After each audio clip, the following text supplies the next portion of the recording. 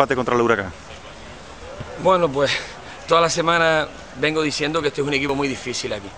Este equipo, de, los, 11, de los 12 puntos, los 12 ha conseguido en casa, han ganado 3, han empatado 3 y ha perdido uno. Entonces es un rival muy difícil. Nosotros el primer tiempo pudimos haber sentenciado y el segundo tiempo salimos los 10 primeros minutos con una pájara tremenda, ¿no? donde se produce el gol.